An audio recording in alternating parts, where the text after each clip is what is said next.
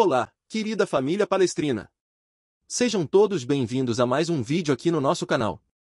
Hoje, vamos trazer as últimas atualizações sobre o nosso Verdão. Antes de começarmos, gostaria de pedir aos novos espectadores que se inscrevam no canal e deixem o seu like para nos apoiar. O Flamengo decidiu levar sua reclamação à CBF em relação à arbitragem no empate de 1 a 1 contra o Palmeiras, no último sábado, no Allianz Parque, pela 14ª rodada do Brasileirão.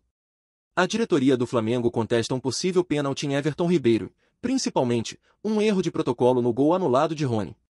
O primeiro lance polêmico ocorreu aos 32 minutos do segundo tempo, quando o camisa 7 do Flamengo caiu na área após um lance disputado com Richard Rios, que já havia recebido um cartão amarelo.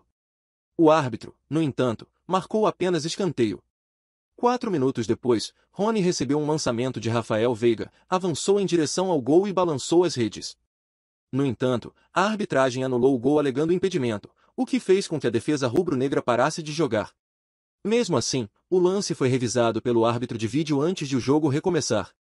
Esse segundo lance em particular gerou muita revolta por parte da equipe visitante. O confronto entre Palmeiras e Flamengo ficou ainda mais tenso após declarações feitas nas últimas semanas.